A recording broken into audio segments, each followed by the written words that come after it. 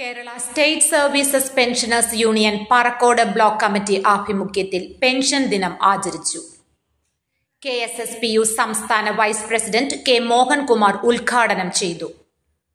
K S S P U block president P Muhammad Ali അധ്യക്ഷത വഹിച്ചു.